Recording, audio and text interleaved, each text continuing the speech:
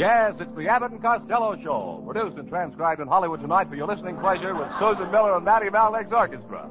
So hold on to your chairs, folks, for here they are, Bud Abbott and Lou Costello.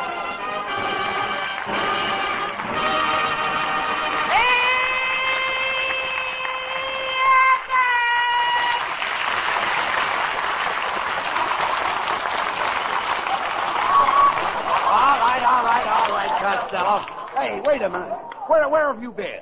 Huh? Where have you been? Well, I, I went to the movies to see our latest picture. Yes. The noose hangs high. News- Yes. Yeah, and I tried to make a guy give me a seat, and he called the usher. What happened? Well, I told the usher, I said, no, look, it, I own the theater. And he took me out of the seat, punched me in the nose. He threw me out in the alley. Boy, was I lucky. Lucky. Yeah, if he did that to the owner of the theater, what would he have done to me? Why Why don't you s- settle down and get yourself a job, Lou? Huh? Why don't you Why don't you settle down and get a job? You know, some of the stuff was on the stuff I threw away. I know.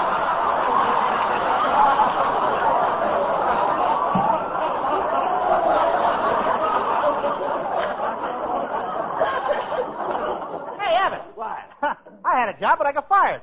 I installed an electric dishwasher in a garbage disposal in a lady's house. But something must have got mixed up. Why? It disposed of all her dishes, and she's got the cleanest garbage in town.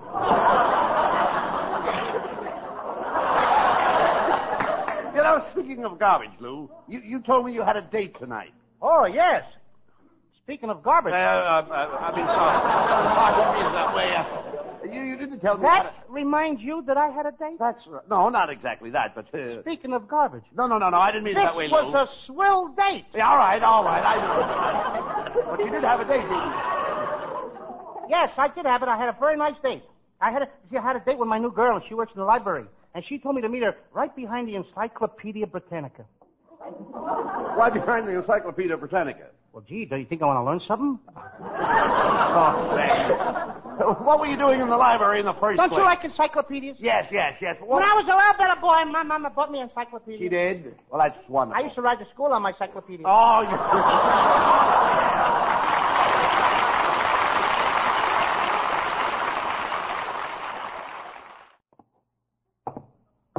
Costello, will you stop that walking up and down? What's the matter with you?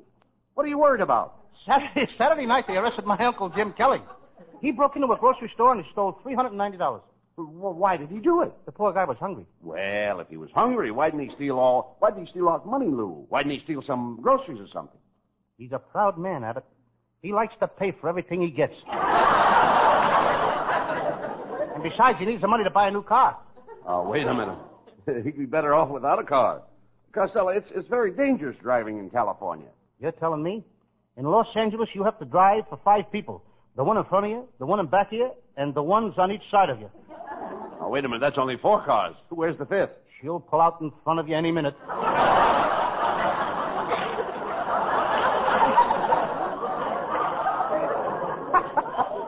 Abbott, I gotta leave now. I got a new job with my brother Pat in the trucking business. has, he, has he got his own truck? Yeah, you should see it, Abbott. It's one inch wide and a block long. A truck an inch wide and a block long? Mm-hmm. What does he deliver in it? Spaghetti. Oh, Sam. Mm-hmm. Is your brother Pat making any money in the trucking business, Lou? Oh, yeah, she did so good last week that he bought his wife one of those new electric blankets. It saves her a lot of time around the house. Now, wait a minute. How can an electric blanket help her with the work around the house? Well, she takes the eggs and the bacon to bed with her. And when she gets up in the morning, breakfast is ready. that electric blanket is making her very popular, too. Uh, what do you mean? Last night, she turned it on too high, and now Yes. she's the toast of the town. Oh, Mr. Costello, Mr. Costello, I've got to talk to you. I've got a great idea. Wait a minute, mister. What's the idea of breaking in here like this? Oh, I've got an idea that will make you two the most popular comedy team in radio. What is it? I'll stamp your name underneath every cow in the country. Wait a minute. Wait a minute. How will that make us popular? Well, at least you'll have all the farmers pulling for you.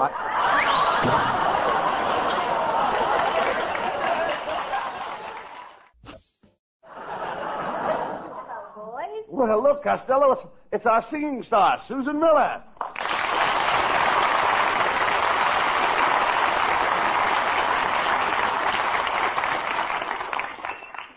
Susan, I'm certainly glad you showed up tonight because I'm going to sing a duel with you. Costello. You mean a duet. A duel is where somebody gets hurt. You never sang with me, did you?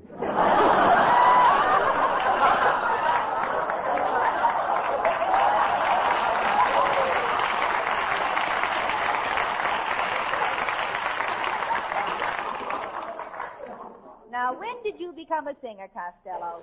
Well, I don't like to brag, but would you believe that I taught Bing Crosby how to sing? No, I wouldn't. You're right, but once in a while I catch a sucker. Costello, you don't know the first thing about music. Well, I'll have you know what I studied music. Nah. I went to a singing school. I used to study until I was blue in the face, and then the teacher presented me with a medal.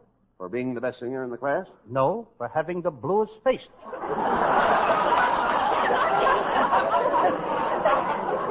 Well, I've got to go now, boys. So long, Costello. You know, there goes a nice kid, Abbott. The only thing is she's money mad. Money mad? Yeah, she's mad because I ain't got no money. Ah, so what? Remember, Costello, money isn't everything. You know, you can't take it with you. It's nice to have it here so you can say goodbye to it.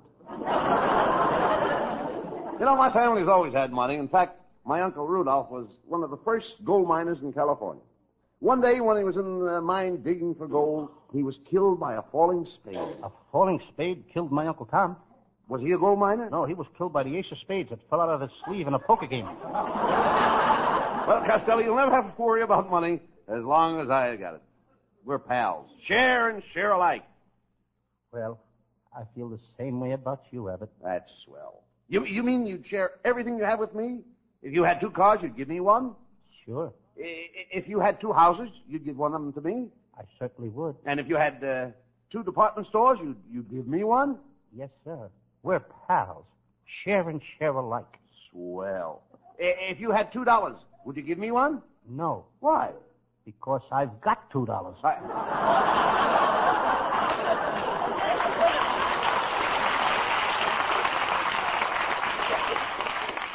Well, that's the way you feel, eh? I thought I was your pal. Are you trying to tell me that money means more to you than I do? I didn't say that, Abbott. Well, does it? Yes. That settles it, Costello. I'm going on my vacation to New Jersey, and I'm not taking you with me. Who wants to go to New Jersey now? When we were there last summer, the mosquitoes were so big they were carrying baseball bats. I woke up in the middle of the night and two of them were sitting on my stomach holding a conversation. Don't be silly. Mosquitoes can't talk. Don't tell me these two were certainly chewing the fat. I...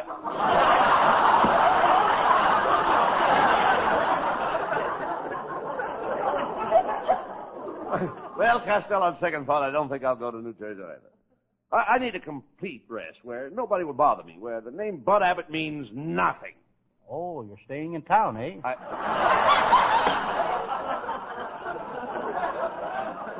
Never mind that. Uh, where are you going? Well, I think I'll go to Honolulu. Last time I was there, I met a beautiful native girl. She was gorgeous and what a figure. All day, she'd walk around carrying a big basket on her head. Then at night, she'd sneak off and she'd meet me. Ah, brother, she taught me plenty. She did? Yes. You should see me carry a basket on my head. You idiot. Girls are making a nervous wreck out of you. You got something there. I know it. I know it, too. I've been buttoning my suspenders to my socks, and it saves me a lot of money. How? It pulls my socks up so far I don't have to wear pants. Never mind that. Have you been getting plenty of rest? No. And I've been having a lot of trouble going to sleep. Last night I didn't fall asleep till 11 o'clock. What time did you go to bed? Five minutes to 11. Costello, you need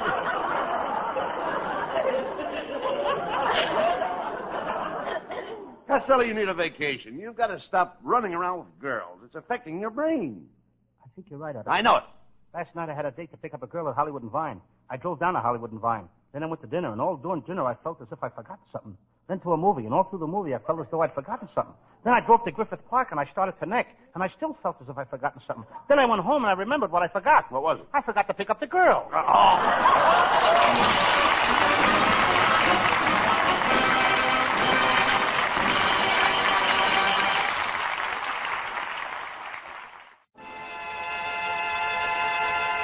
Here's the singing star of the Abbott and Costello Show, Susan Miller, with Matty Malneck's orchestra singing on the sunny side of the street.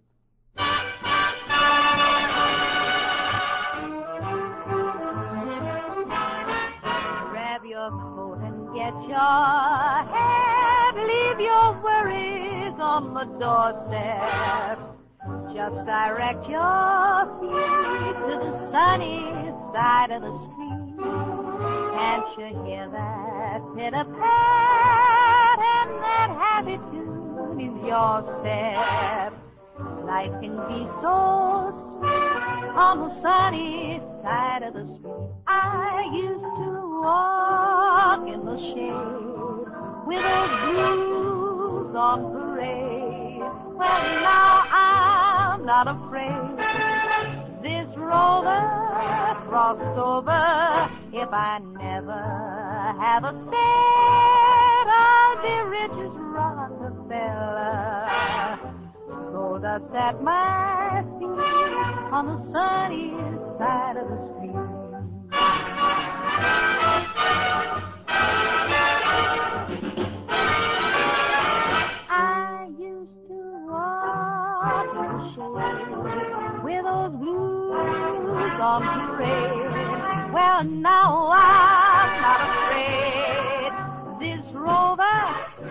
crossed over. If I never have a cent, I'll be rich as Rockefeller. Gold dust at my feet on the sunny, sunny, sunny, sunny, sunny, sunny, sunny side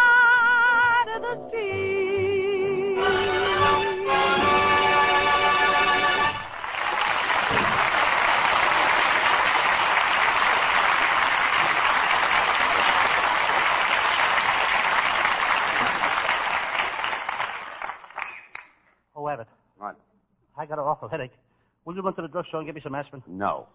Hey, Matty, will you run to get me run to the drugstore and get me some aspirin?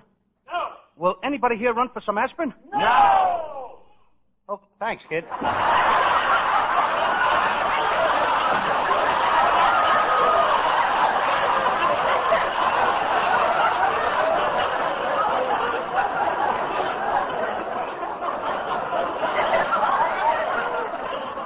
You know, right now I got no joke. No, nobody will go after it. Nobody will go after it. No, nobody will go after the aspirin. Now, okay, hand me the phone. I'll get that aspirin. I'll put in a long distance call to Washington. Well, who, who are you calling in Washington? Henry Wallace, that guy will run for anything. Right.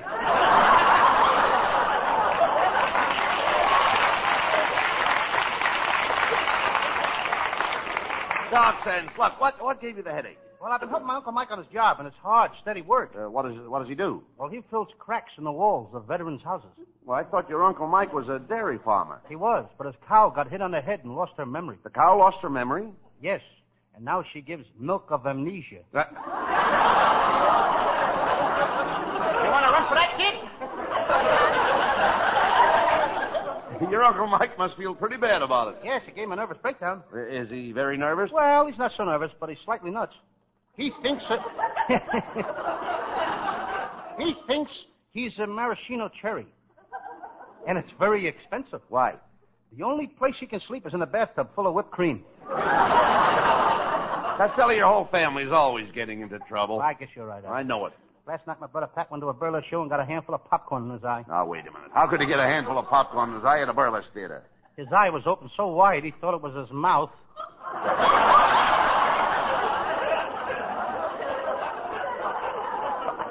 Mind about your brother. I'm worrying about you. Tonight when you go home, make a make a lot of hot tea with lemon. Then soak your feet in the tub. I did that last night and I didn't like it. Why? The lemon kept tickling my feet. I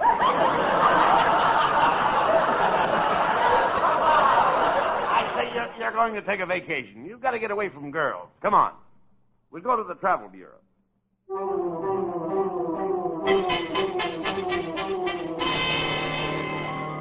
There it is.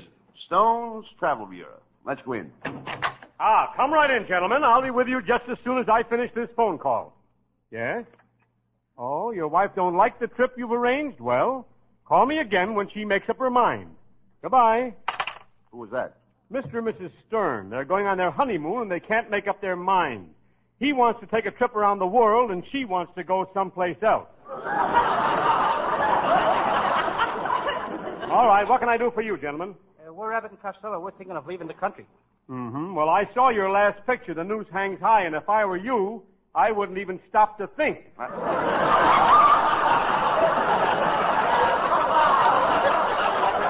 a pretty fresh guy, aren't you? Just who are you? I own this travel bureau. My name is Stone. The first name is Roland. Roland Stone?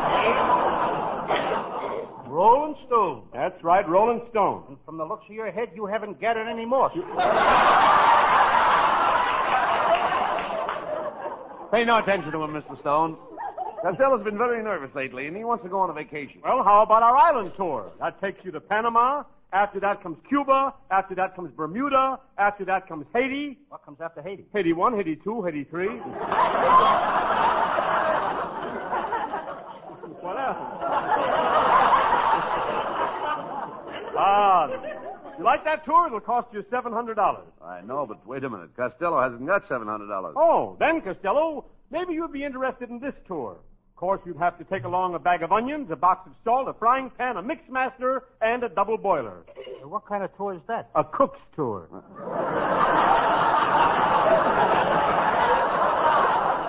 Costello, why, why don't you go to Yellowstone Park and see Old Faithful, huh? Yes. I used to go out on dates with Old Faithful. She was quite a girl. Costello, Old Faithful is a big, jagged mess of, of old fossil that spouts steam uh, every hour. That's her. Never mind your girl. Costello, if you don't mind traveling with a group, here's a trip that takes in most of Europe. It takes in Bulgaria, it takes in Czechoslovakia, it takes in Yugoslavia, What group do I have to travel with? the Russian army.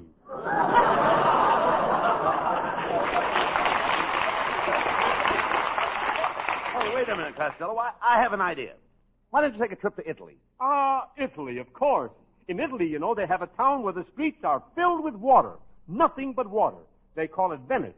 When it rains, there's a town like that right here in California. We call it Burbank. Um, Mr. Stone, I think Costello should go to some healthful climate. Uh, how about Sweden? Ah, yes, of course, Sweden. Sweden, the match country. You know something? Sweden makes more matches than anyone else in the world. More than Lana Turner? Uh, Costello, maybe you'd like to see one of the seven wonders of the world. How'd you like that? The Leaning Tower of Pisa. You know, it leans way over to one side. There's nothing like it in the world. Have you seen some of the houses they're building for the veterans here?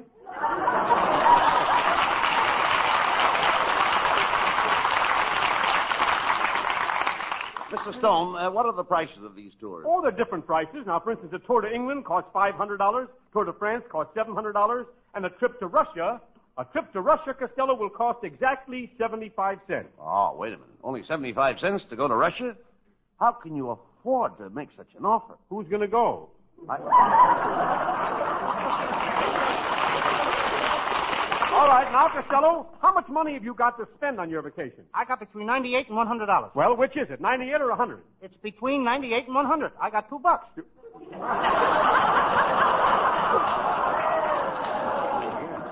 Well, Mr. Stone, do you have any kind of a tour for $2? Oh, yes, we have a wonderful $2 vacation for sports like Costello. I'll take it. I'll take it.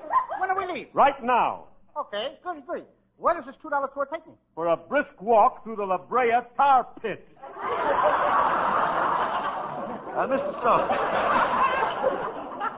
Mr. Stone, haven't you some place where we could go where it's nice and quiet? Yes. Why don't we just stay here? It's been mighty quiet since the beginning of the program. Say, by George, I've got it. Just the place for peace and quiet. It's a desert island, 2,000 miles offshore. Well, uh, what will it cost us to get there? To get there, nothing. I'll take you there myself in my own boat. I can't go on a boat. I get seasick. Hmm, does seasickness affect you very much? Mr. Stone, the last time I was on a ship, I looked so green that when I walked into a billiard room, the steward racked up my eyeballs and shot them into the side pocket. Come on, Costello, we're going on that boat.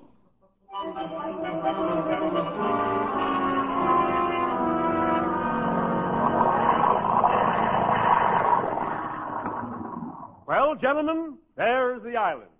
What do you think of it? What a horrible looking place. I don't like it. What are you complaining about, Costello? It didn't cost us anything to get here. I want to go back. To go back will cost you $300. Hey, I ain't got no $300. All ashore that's going ashore. And that means you, Fatso, get off the boat. Goodbye. Have fun. Look what you've done, Costello. We're all alone on this deserted island. We may die here. I, I don't want to die. I, I'm too young. I'm only 25. Abbott, you're only 25 years old? Yes. Then I got nothing to worry about. Why? If you're only 25, you're here alone. I haven't been born yet. Costello, how can you joke about this? Here we are, 2,000 miles from shore. No food, no water. We're in more trouble than anybody else in the world. Have you read the Kinsey report on Matty Malneck? Costello, this heat is killing me. Oh, oh, pal, I, I, I think I'm going to die on this island. Costello, my buddy, Yes, Abbott. when you get back, find the woman I love. Go to her and tell her I love her dearly. Take that message t- to the woman I love. Okay, Abbott. To the woman you love. Yes, to the woman I love. But what shall I tell your wife? Come on, we've got to find a way to get off this island. Hey, look, Costello. Cannibals. One of them is coming toward us. Welcome to Ireland. That boy. Hey, Abbott, get me out of here, will you? Quiet. Quiet, Costello. These cannibals are headhunters. They shrink people's heads. This guy is the biggest shrinker I ever saw. Oh, don't be afraid. We peaceful cannibals. Well, don't, don't you even fight with the other tribes? Uh, we never fight. We haven't had a war 200 years. Well, how, how do you explain that?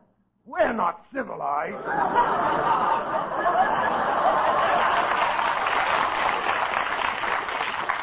Where you boys from? California? Never heard of it. You know, California. Oranges? Never heard of it. California, California. You know, Lana Turner. Oh, yes. How's Bob Topping? Chief, maybe you know my Uncle Tom. He was shipwrecked on one of these islands with a beautiful redhead. For three whole years he was on the island alone with this gorgeous redhead, and then a terrible thing happened. What? He was rescued. Costello, I'm afraid we'll never be rescued. Oh, pal, this is it. This is the end. Don't say that, Abbott. I don't want to die. Mhm, don't worry, Costello. We'll soon be in heaven at the pearly gates. And when Gabriel sees you, he'll blow his horn. And when he sees you, he'll blow his top. I... hey. Hey, look. Look. Look, Costello. A plane. Quick. Sneak. Signal. Quick. Signal. Hurry up. Take off your shirt. Wave it. Hurry okay, up. okay. Hurry up. Take it off. I'm waving my shirt. Okay. Look, the plane is coming lower. They saw my shirt. They saw my shirt. Hey, look. They dropped a package of supplies, and there's a note tied to it. Oh, they saw my shirt. They saw my shirt. Well, quick, read the note. Okay. What does it say? Okay. Look. It says, wash that dirty shirt.